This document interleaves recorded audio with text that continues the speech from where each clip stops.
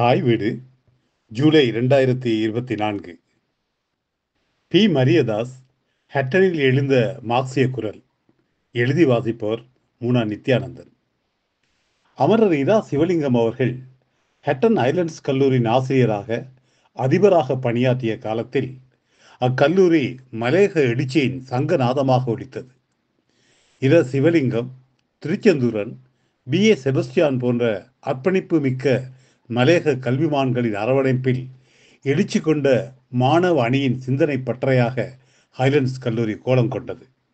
மலேகத்தின் கல்லூரிகளில் தன்னிகரற்ற தலைமை இடத்தை அது தொடர்ந்தும் தக்க வைத்துக் கொண்டிருக்கிறது.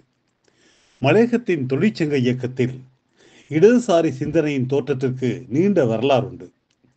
ஐம்பது அறுபதுகளில் மலேகத்தில் முகிழ்த்த படித்த இளைஞர்களின் சிந்தனையில் பெரியாரின் தாக்கமும் திராவிட கருத்தியலின் செல்வாக்கும் திராவிட தலைவர்களின் பாதிப்பும் பாரதிதாசனின் ஆளுமையும் ஆழ பதிந்திருந்தன.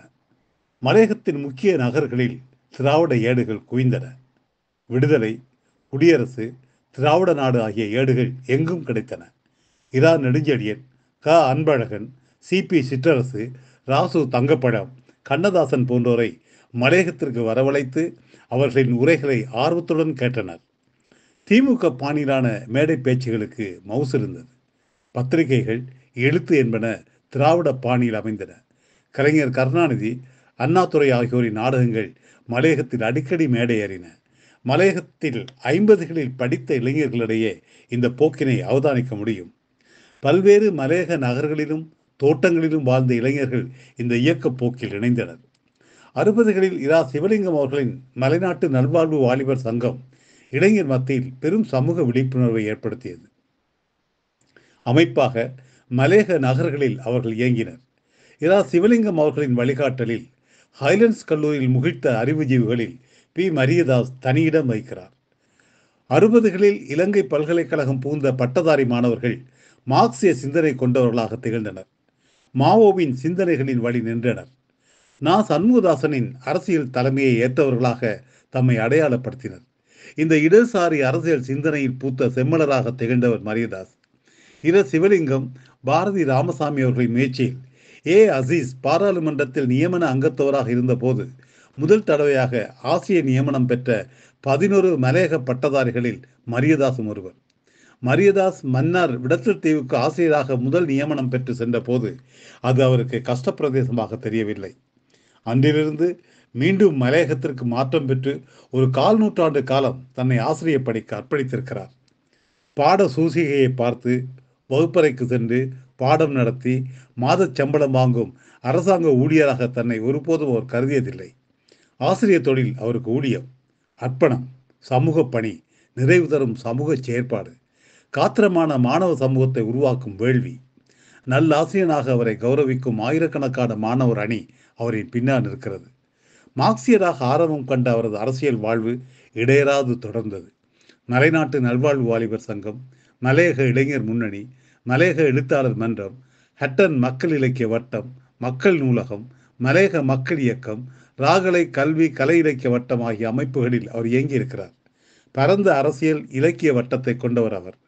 அரசியல் எழுச்சி வீழ்ச்சிகள் எவ்வாறு அமைந்த போதும் நிதானமான இடதுசாரி அரசியல் போக்கை அவர் தொடர்ந்திருக்கிறார். வரலாற்றை புரட்டி போட்ட அரசியல் மாற்றங்களை அவர் வாழ்நாளில் பார்த்திருக்கிறார். திசை மாறி போன அரசியல் இலக்குகளை அவர் அவதானித்திருக்கிறார். வர்க்க அரசியல் தேசியம் என்ற கருத்தாடல்கள் கூடாக அவர் பயணித்திருக்கிறார்.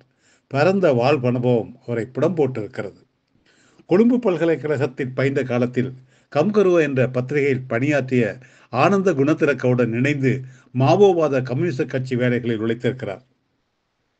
பின்னர் காமினி யாப்பாவின் தலைமையில் இயங்கிய கீழைக்காற்று இயக்கத்திலும் செயற்பட்டு மலேக இளைஞர் மத்தியில் அரசியல் வகுப்புகளை மேற்கொண்டிருக்கிறார்.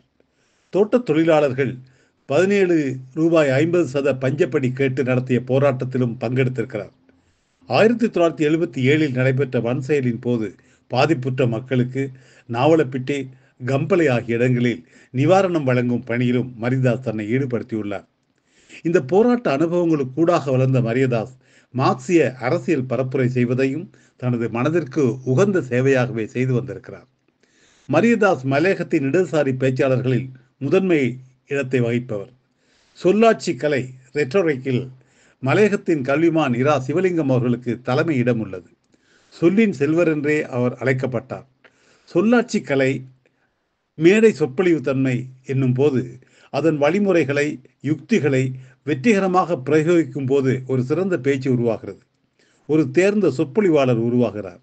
இந்த சொல்லாட்சி கலையின் வழிமுறைகளை அறிவு போதனைகள் மூலம் கையகப்படுத்தியதாக இருக்கலாம்.